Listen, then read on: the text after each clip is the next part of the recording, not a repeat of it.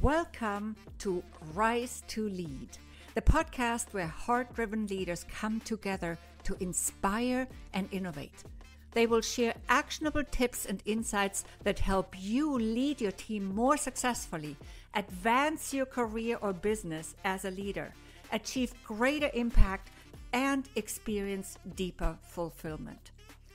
I'm your host, Regina Huber guiding you through deep conversations about leadership that's rooted in service, freedom, and the desire to leave a positive mark on the world. Welcome to today's episode of Rise to Lead. I'm super thrilled to introduce you all to our guest, Anjel B. Hartwell. Welcome, Anjel. Oh, thank you so much for hosting me, Regina. Glad it's to be here. Pleasure. I was I was actually so honored to be on your leading visionary show uh, podcast in the past, and uh, I'm delighted to have you on mine now.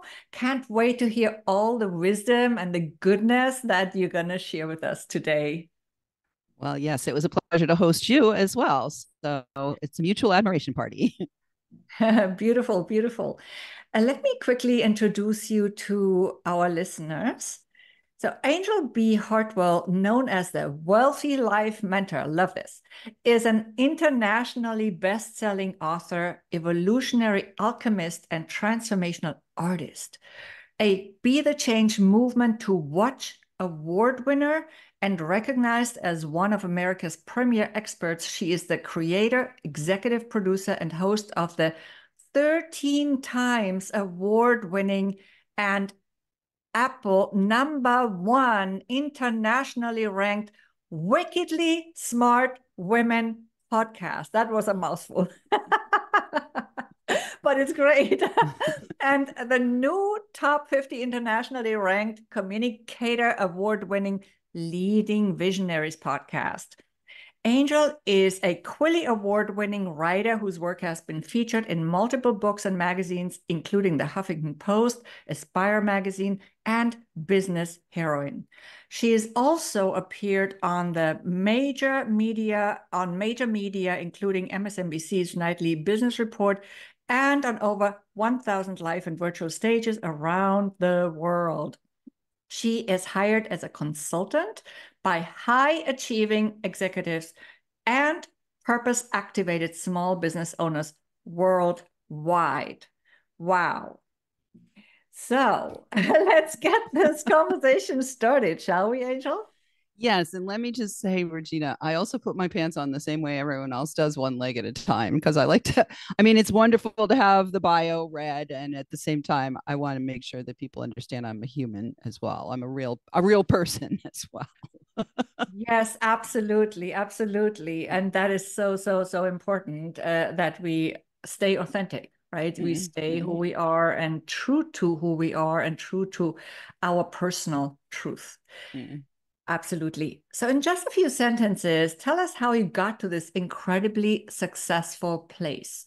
Where have you where did you start and and how have you been able to get there and uh, really to gain fame and and to win all these beautiful awards mm, well great question so um briefly like my early career i spent the first 20 years of my career in the real estate business and I seem to have always been somebody who rises to lead. Like we're on the Rise to Lead um, podcast. Yes. So even very young, I was the youngest um, chair of my trade association.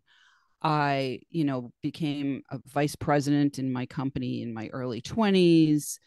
Um, you know, I have always gone into a space and risen immediately to lead. And so, what ended up happening at the end of 20 year career in the real estate business, uh, where I was building an award winning project with two partners 51 single family houses, 56 apartments, and an office building. I was also the national chair of my trade association.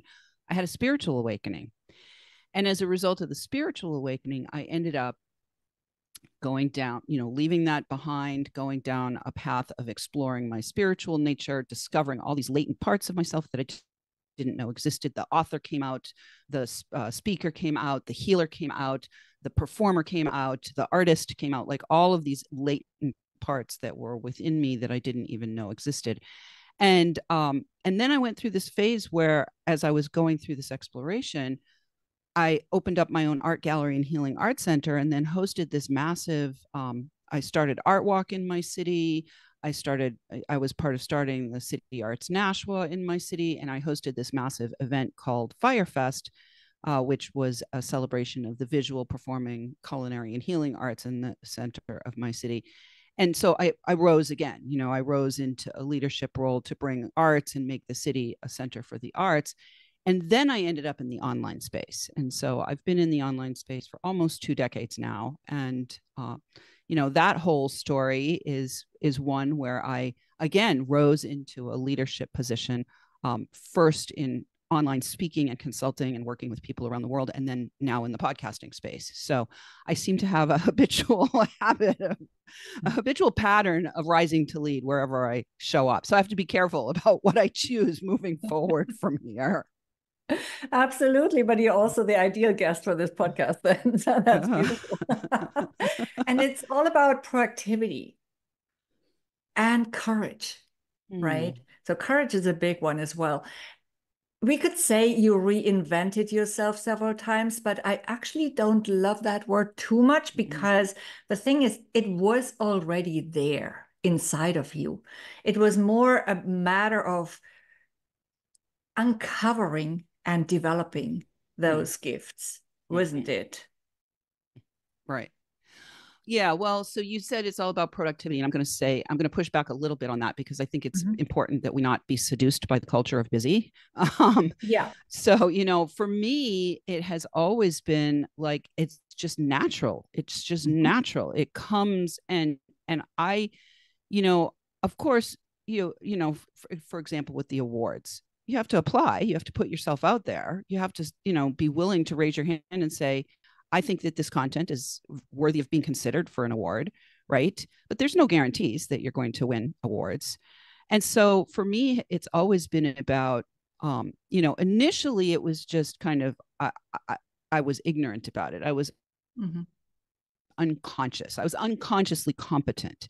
And as the decades have passed and as all of these experiences have started to line up, you know, hindsight is always 2020, I am now able to see that it is about for me um, you know, more allowing. It's a, it's about allowing myself to say yes to opportunities. It's about allowing myself to um, you know, say yes to applying for awards. It's about allowing to come through me what wants to be brought into the world and it's more less about me being productive and more about me being a channel through which whatever is going to manifest will will manifest because I've gotten out of the way because I've allowed because I've said yes because I have agreed to um, to pour my life force into whatever direction my vision is showing me Absolutely. Yes. Uh, and, and you actually, uh, what I said is proactivity, not productivity. So I ah, might have just misheard that, but it's still a really wonderful and beautiful additional explanation. So that was really, mm. really good. Um, and, uh, and, you know, it's also about giving ourselves permission to shine, isn't it? You said right. the word allow. Mm. Absolutely beautiful. Right. Okay, well, so- uh, and uh, forgive me if I I heard productivity. I thought oh. I heard productivity, but it, but you said proactivity. So yeah, so proactivity is is that allowance. It is mm-hmm. that permission. It is that saying yes. And you did mention courage. So I'll say yes, it includes courage. Courage is actually one of the seven C's I have for creating conscious change. And courage is really about finding your heart right? Because your brain can make up all kinds of things that you could be doing, but your heart is what allows you to do whatever you're doing um, with devotion. I really like this. Mm-hmm. And you know what's so interesting? This is also why I'm so curious about your seven C's, but more about that later. It's mm. because I had the seven C's in the past too for a leadership uh, talk, actually. And I'm so curious which ones are the overlapping C's because there are a lot of words that start with a C that are mm-hmm. relevant for leadership, in fact. Mm-hmm. Yeah. Beautiful. Yeah. But before we go into the seven C's, tell us a little bit more about who your typical clients are. You said they are high achieving executives. Mm-hmm. I'm reading this again and purpose activated small business owners. How do you support these clients typically? Maybe give us an example for for each of them. Right. Well, um, I'll use I'll use a few examples. So my CEOs are people who are in you know they they've they've they're in an established business and the work that we do together is really about supporting them with uh, creating boundaries around how their time is being used, uh, around optimizing their communications so that they can raise more capital in order to bring their visions into reality. Um, I'm really here to serve people who have a, a, commitment and a calling to create conscious change in the world. So I'm not necessarily the right fit person for, uh, you know, to be a CEO, consultant, executive advisor for a typical old school, you know, um, entrenched industry.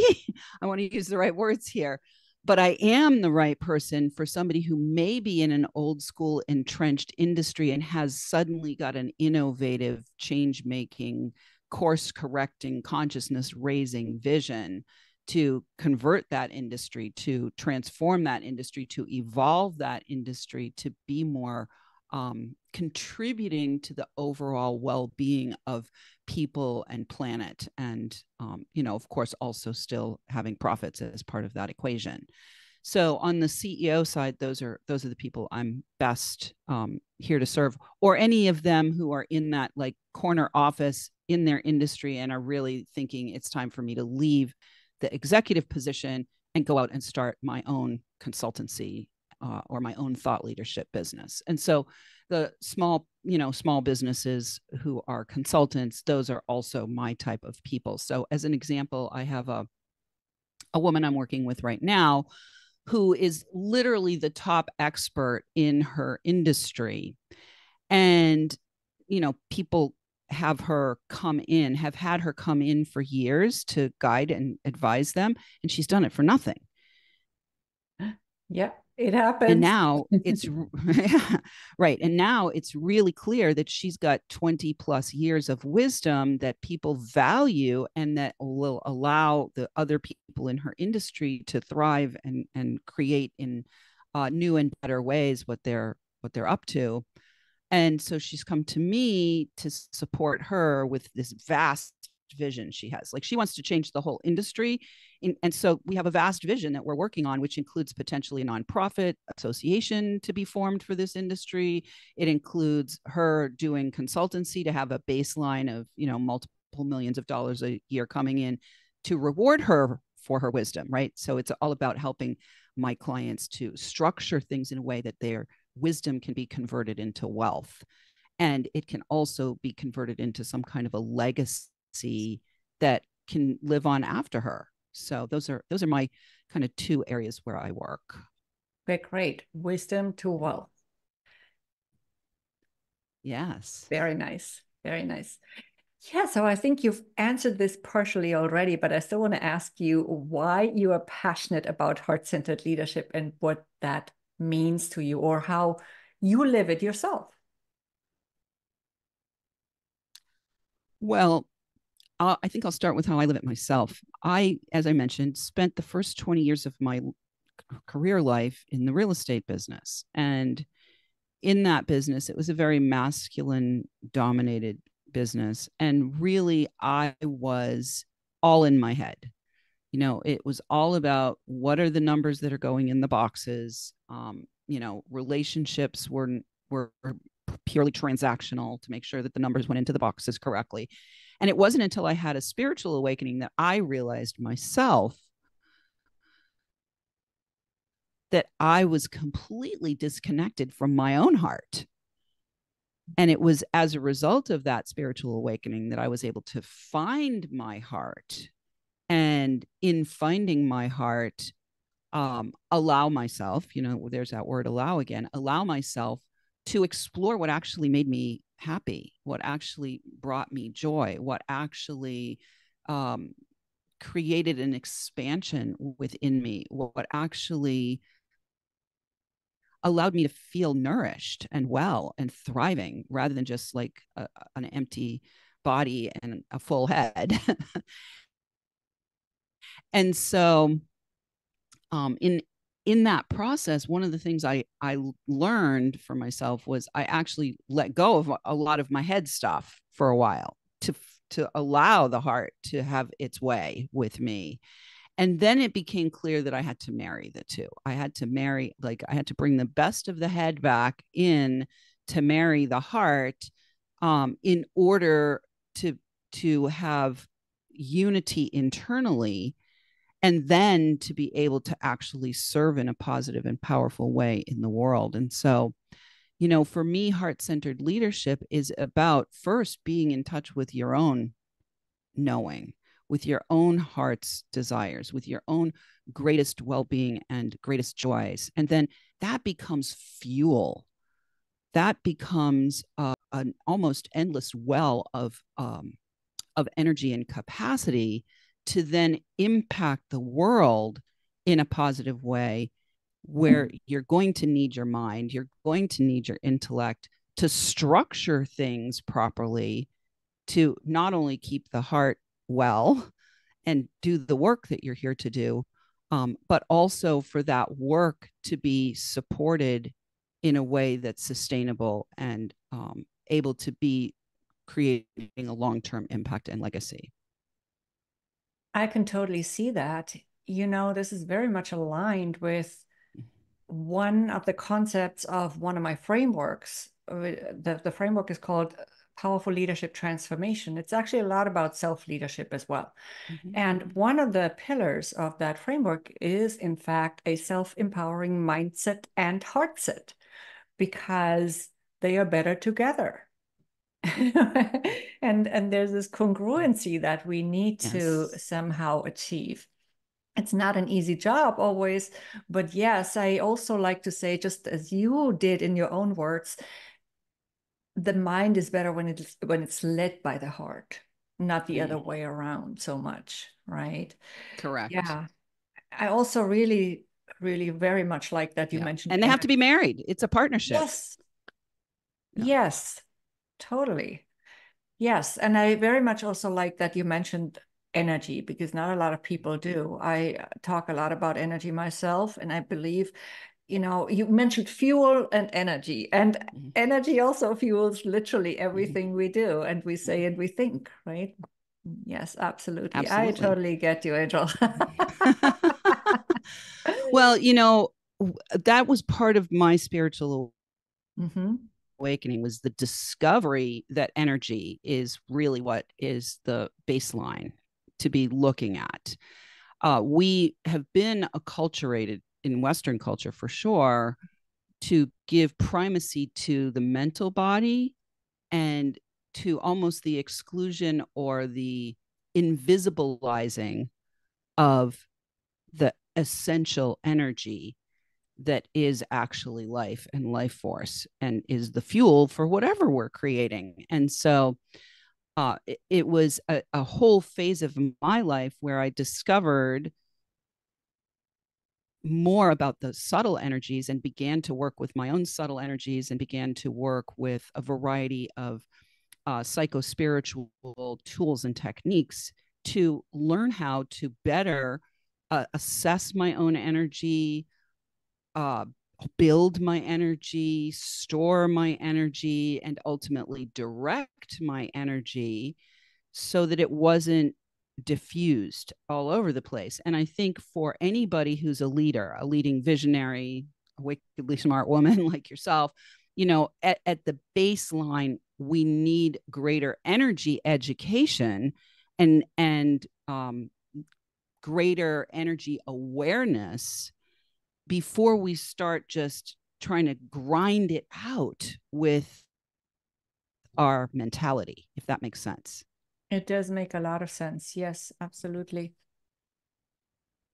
I what you just described in several steps, I sometimes call optimizing our energy because mm-hmm. it's really a lot more about the quality of our energy than it is about the quantity or the level of our energy, isn't it? Well, I think both. We need to have they, have got to be married. It's We've both. got to have enough. We've yeah, got to have sure. the quantity as well as the quality. Yes. Right. And the quality is all about the refinement, right? Mm-hmm. It's all about refining the energy because you can have a lot of energy, but if you're if you're holding a lot of let's say for example anger, then the quality of the energy is de- degraded to the to the frequency or vibration of the of the unresolved anger energy. It's not necessarily, you know, um, it, it will be creative. It will create something. It will often create destruction, right? Mm-hmm. Um, so I think it's both. I think it's the quality as well as the quantity, because if you're drained and exhausted, which often happens, you know, we were talking about my client earlier who had spent 20 years in the industry. She's top of the game. She's given away 20 years of guidance and wisdom and advice to other people, you know, um, now the time is for her to create those structures and containers that will allow her to actually receive back for all that she's given out. So right. I think it is both uh, because if, if you d- diffuse the quantity of energy you have, you'll end up burned out and exhausted. I totally get that too. Yes, and I agree. I totally agree. Uh, the mm-hmm. reason why I sometimes say it's not so much about the level of energy is because that's the first thing people think about when they think mm-hmm. energy. They think it's the I oh I have to be super energetic. I have to have these high levels of energy. Yes, it is true. Uh, also, that energetic can look differently in different situations right it's it's, it's different in different yeah. situations so so yeah it's it's it's really though then in the end if we don't talk about the quantity uh, quality of energy sorry then then we're leaving a big portion of it out. This is probably why i like to say it sometimes in this way but otherwise i completely agree yeah, well, I agree with you. It it totally we have to have both. We have to have both the quality exactly. and the quantity. both. Okay. Yeah, absolutely. I heard that too. Uh, so, Anjel, you came up with the seven C's for creating conscious change. You we already mentioned them a few mm-hmm. times now. I'm super curious about those, and I love the word conscious in there. So, what are these mm-hmm. C's for creating conscious change? Well, thank you for asking. So, uh, I've developed these over the course of my 16 plus, 17 plus years here in the personal and professional development space based on really what I was experiencing myself and what I was seeing with my clients that I've been working with uh, for all these years. So, the very first C is clarity. You have to know what it is you want you must know what you want and you must be clear in that awareness. And one of the biggest things that I help my clients get is clarity. I like to say clarity is divinity. um, once we have clarity, then then we can begin to marshal our energy to to channel it and um, direct it in the direction of whatever it is that we want to change. So clarity is first. Um, the second C is courage because now we have to find the heart within us to be able to go for it. A lot of times, a, a leader or a visionary or somebody who's called, it comes in first as an idea, right? Or uh, an inspiration. So it does come into the mental body. We'll get hit with this, like, oh my God, I'm suddenly feeling called to serve women to help them feel great speaking and powerful asking for money or or whatever you know i i'm suddenly here i'm suddenly called to help people rise to lead right? It comes in often as a, a, a vision into the mental body. Well then you have to find the heart. You have to have the courage to be able to say yes i will i will say yes to this vision. There are millions of visions being transmitted to us all day every day uh, and and you know 8 billion people approximately on the planet we're all getting vision and very very very few people will say yes to that yes because courage is in the heart courage is in the heart and yeah. and often what ends up happening is it's they don't have the courage to make change like we're talking about creating conscious change mm-hmm. and and it requires requires a lot of courage to be willing to drop whatever you're doing or to you know to build a bridge to the next thing that you're creating you know or to take a flying leap. Some of us are leapers. We'll just say okay we're not doing that anymore. Let's take a leap over here. But most people need to build a bridge. So courage is the second c. Um, the third is get you know consulting. Consult with somebody. Consult and that can be a coach a mentor a consultant a trainer. Um, consult with somebody find support from mentors and consultants and coaches who have been where you are. So, for example, Regina, you've been called to help people rise to lead, right? And so, anybody who's listening to you who is suddenly receiving some kind of a calling, potentially around leadership, you're a great person for them to come to get consultancy from to get coaching from, to get mentorship from. I'm a great person for somebody to come and get coaching or consultancy or mentorship from because I've been called and I've I'm a speaker and I've been heard and I'm a podcaster. So, you know, all of the um, ways to get your calling or your conscious change initiative uh, implemented in the world, there's somebody out there who can help you with that. You don't have to do it alone. And in fact, you're going to go further if you do it with somebody who's been who's a few steps ahead of you, who who can give you the wisdom of uh, and the results of years of investing in themselves. So, you know, when when people come to work with me, I say, you know, you come to work with me for $15,000, say for example, but what you're getting is 40 plus years of entrepreneurial experience plus millions of dollars that I've invested in myself. It's like the bargain. It's like a huge bargain yeah. to to get what I can offer for you for fifteen thousand dollars. Um, so that's the the third thing is uh, get somebody to consult with or coach with. The fourth thing is c- create.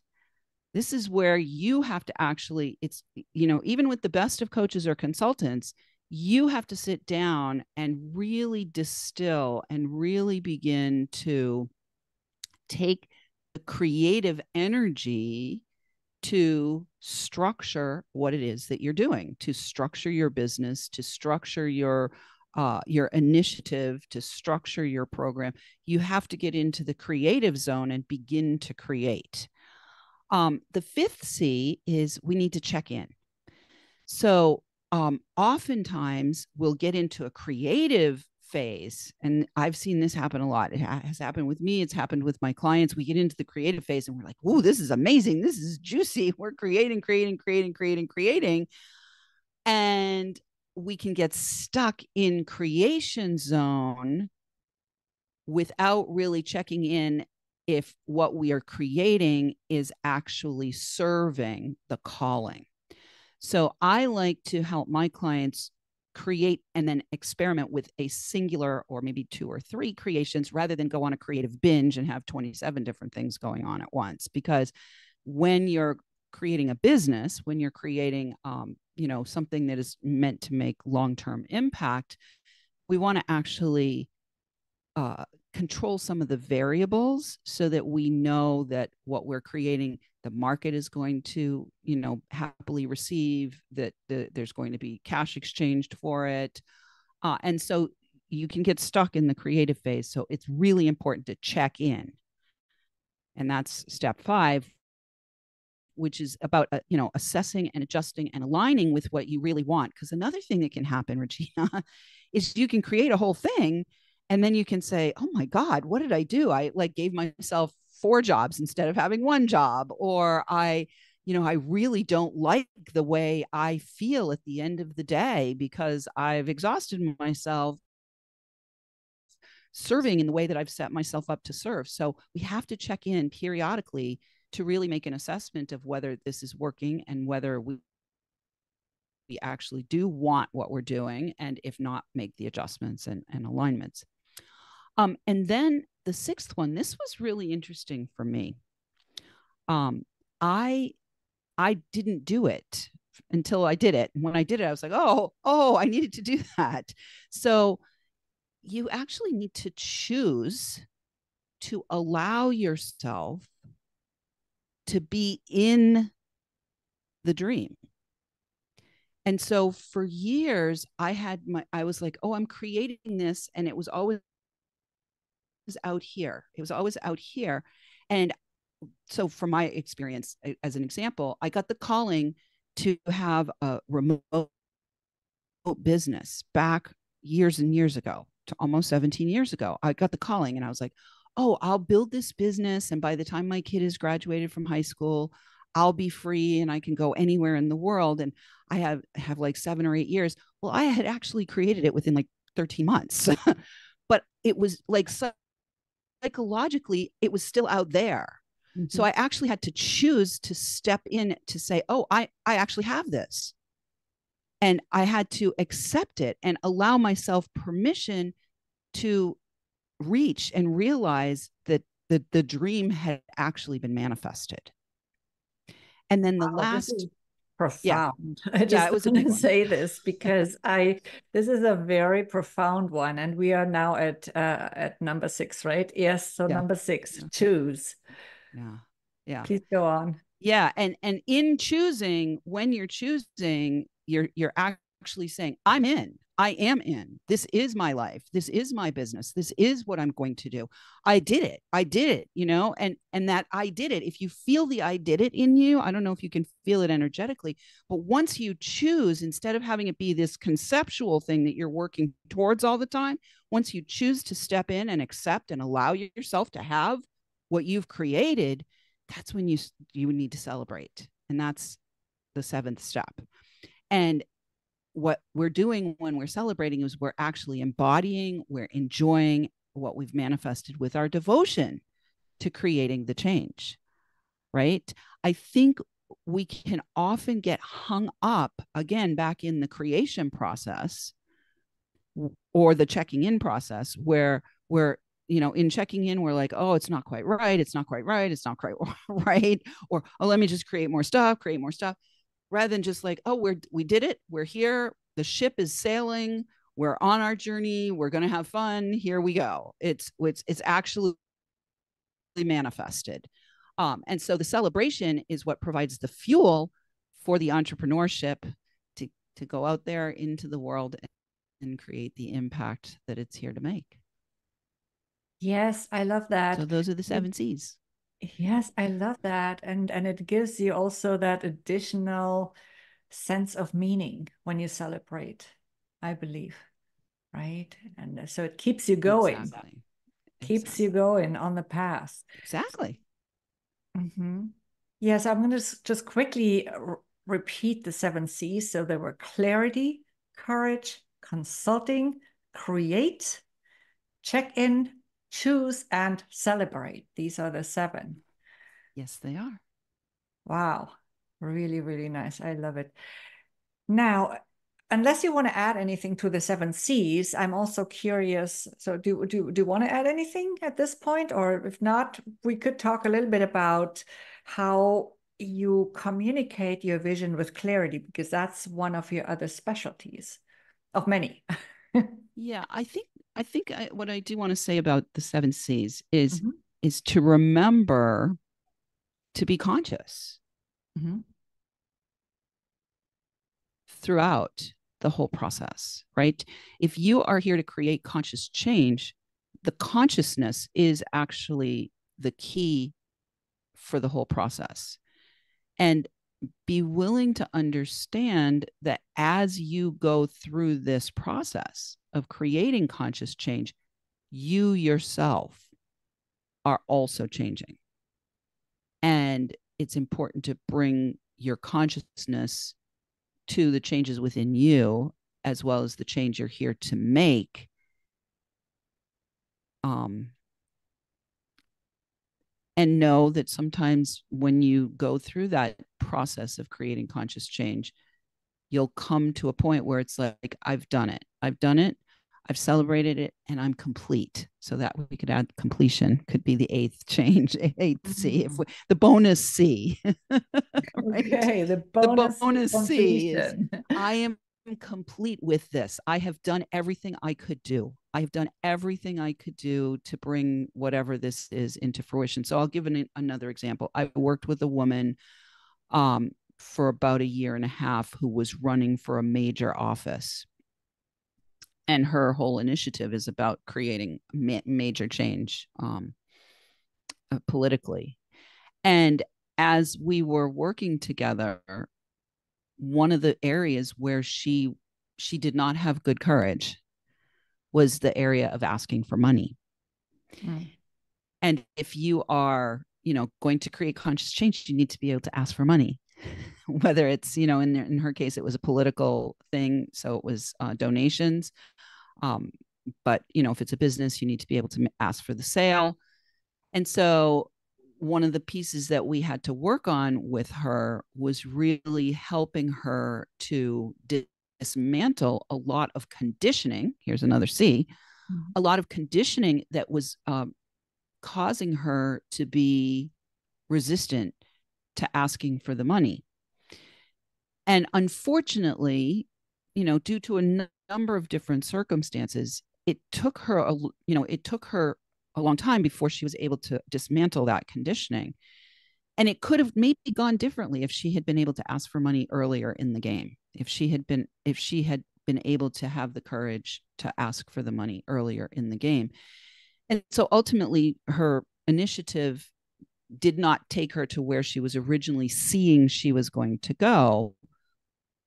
And she changed as a result of of this whole process. Um, and she had to come to completion. She had to come to completion. She had to say okay it's over. Like it's over. The, this initiative is over uh, we've done everything that we could and now it's it's time to complete this and put it off to the side and and when we complete things it's important for us to acknowledge the gifts that we received from that process. It's really important for us to um, know that there's wisdom and potential wealth from that wisdom just from having gone through the process. And it's important for us to complete with honor, to complete with um, honor for ourselves for doing the thing, and honor for the process and honor for any of the people who were involved uh, who were supporting that process as well. So yeah I, I guess we have a bonus number c and number eight is is the clean completion. And once you've completed then, then the process the can start completion. again yeah the, the clean the double c the clean com- completion. And then then the process can potentially start again. You know mm-hmm. sometimes completion means i'm done. I'm i'm i'm done with all of it and i'm resting for the rest of my life yep. right? Um and and but often for anybody who has any kind of vitality in us you know we'll complete one thing and then we have a little, little fallow period and then it's like gotta gotta be starting something. What what's next? You know yeah. totally totally i have such a completion case too in my stories for sure uh, so one of those with honor yes and not with a lot of you know a, a, also with pain at the time, but then we need to get to that point when we say, okay, this is the end of this chapter. And mm. now a new chapter begins and what have i learned but also what have how have i unconditioned myself or am i still unconditioning myself so that i can actually step into that next chapter and your client did a lot of that right mm. because a mm. lot of that conditioning is very deeply rooted and and and, it, and it's it's sometimes a bit sticky and mm. it requires constant work or conscious conscious work and for, for some people it's faster for some people it's not so fast uh, because we have carried this around an entire lifetime up to here. So it's no wonder right? Yeah well it's another that's another c you know the conditioning and right. um and that's the c that that is actually primarily the root of the resistance of any of doing any of this yeah. is the conditioning. The conditioning is the root of the resistance and um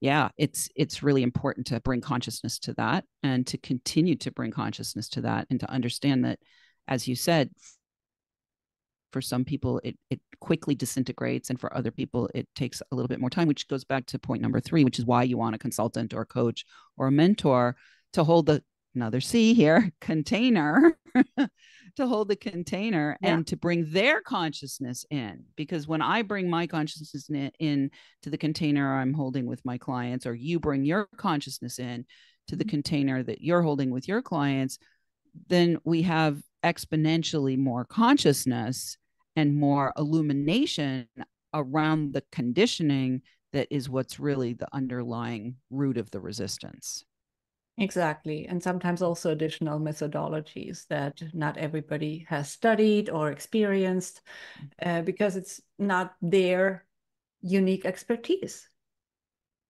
It's just what it is. Okay, so let's quickly, I know we've been talking for a while, but I would love to quickly touch on the topic of communicating our vision with clarity. Um, just maybe quickly, what's important in this context? What's your key message here? Well, I'm going to be paradoxical. The key message is clarity plus, plus brevity. Uh, okay. Equals impact. right. Clarity plus bre- brevity equals impact. I, I mean, after all of the years that I've been in this business, I know that for some people, it's more about the how we show up than it is about the actual words that we deliver. Mm-hmm. And uh, coming back to the energy piece, Regina, so we want to have our energy clear as a baseline whenever we are out communicating our vision. We want to be grounded, we want to be present, we want to be um, you know, aware of the points that we want to make. And ideally, we want to make those points as briefly as possible because most people, whoever's listening to this, they're going to remember maybe a sentence, but they will they will feel the energy. It's about the feeling that's being transmitted, about the energy that's being transmitted at the baseline. That's really the more important piece to work on in terms of of clarity. And then when we can look at, you know, what is the message that we're trying to get across? How can we structure it in a way that allows for the greatest degree of understanding, uh, the greatest degree of comprehension, the greatest degree of uh, of impact on the hearts of the people that we're speaking to, and it's very important for a visionary to get that core message really distilled so that they can easily communicate it in either an hour format or a five minute format or even a one minute format. So, part of the work uh, of clarifying your message is really distilling it so that you're literally embodying the message energetically and then the words need to just fit into the time frame if that makes sense. Yeah? It makes a lot of sense Anjel also when your message contradicts your energy then usually it's the energy that wins. Always. And we always hear and i'm, I'm not the one who in, invented this quote of course uh, we, we hear this all the time. People will forget what you said but they will remember how you made them feel.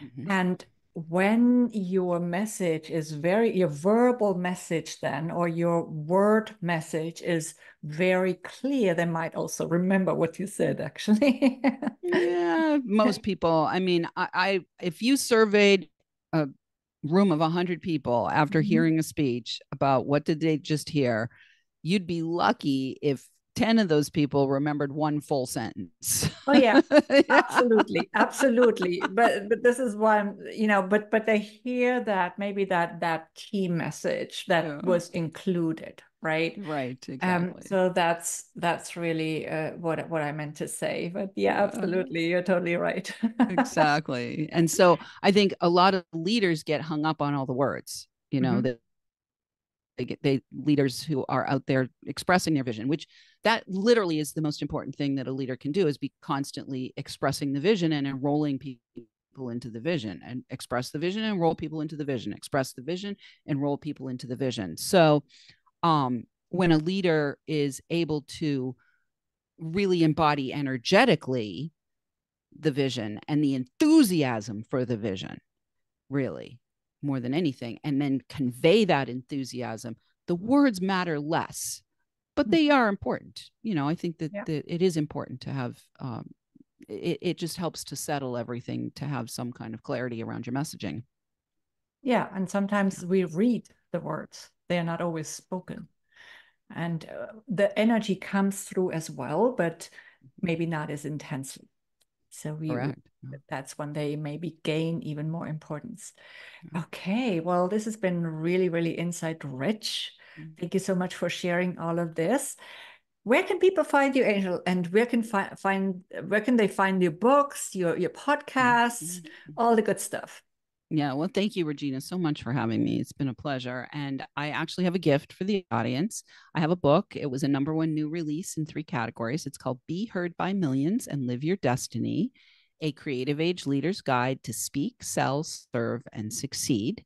And they ha- can have this book, the whole book. It's a downloadable PDF by going to BeHeardByMillions.com. BeHeardByMillions.com. And uh, of course, you can listen to both of the podcasts, Wickedly Smart Women and Leading Visionaries. And then my main website is wealthylifementor.com. So that's where you can find me. Okay, great. And I will definitely also include all the links in mm-hmm. the description. Again, this is a beautiful, beautiful, and very generous gift. Thank you so much for uh, for giving this gift. I will definitely also download it. no doubt, no doubt. now, Excellent. any any last words before we close that you would like to share with us today? Yeah, I actually want to talk a little bit about investment, um, okay. Regina. Uh, you know, the people who are listening to Rise to Lead, you have already, if you're at this point in this podcast episode, you've already invested almost 50 minutes of your life to listening to Regina and I speaking. The key uh, one of the keys i'm not going to say the key but one of the main keys for you to be able to step further into your calling is to have the courage to invest it's not just having the courage to say yes to the calling but it's also having the courage to put some cash on the table in um, in service to bringing your calling into reality and i am quite sure this this is true for you regina. I know it's true for me and all the clients that i've worked with. Hundreds of thousands of dollars sometimes millions of dollars end up being invested um, for for you to become the leader you are rising to become for you to become uh, the person who creates the vision that is a lasting legacy hundreds of thousands if not millions of millions sometimes billions of dollars gets invested. So being able to confidently and courageously put cash on the table is going to be something as that you need to be able to exercise as a leader. As much as asking for money as much as the enrolling side of it goes you also want to be um, actively and courageously on the investing side of the money equation as well so i think that's the only thing i had left to say regina other than thank you thank you thank you for giving me the opportunity to be here on your podcast and share my message with your audience. What you just shared is so true. There are always two sides of the coin. Talking about coins. so, yes, absolutely. Thank you so much again, Anjel. It's been such a pleasure to have you on. Thanking me, uh, thank you thanking me. thank you. thank yourself. Yes. Thank okay, yourself. Yes. I vote right. yes. thank you for helping me make this a fabulous show. Wonderful having you on again. And thanks to everyone listening. Tune in again for the next episode.